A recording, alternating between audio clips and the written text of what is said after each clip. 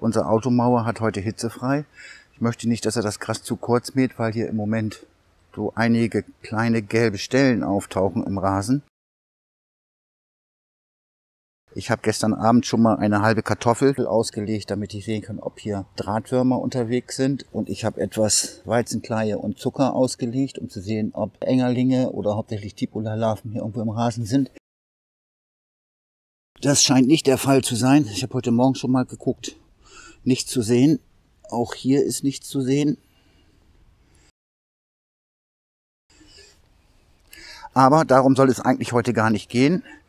Ich möchte heute mal einen Test machen, was der Meer mit den Früchten dieses Baums macht.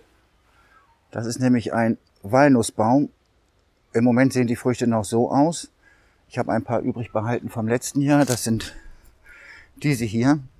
Und ich möchte mal sehen, was passiert, wenn der Meer über so, einen, so eine Nuss drüber wegfährt.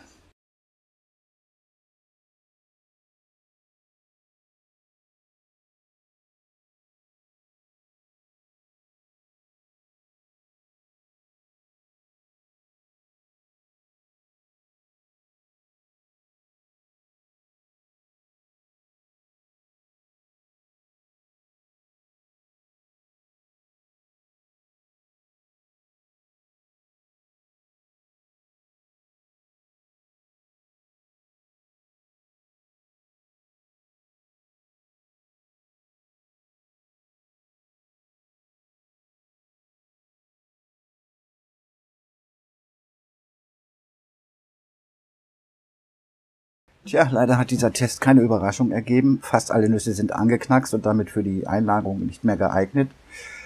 Ähm, für uns heißt das, dass wir jetzt in den nächsten Wochen, zumindest wenn der Meer auf diesem Stück unterwegs ist, regelmäßig, stündlich, keine Ahnung, Nüsse sammeln müssen.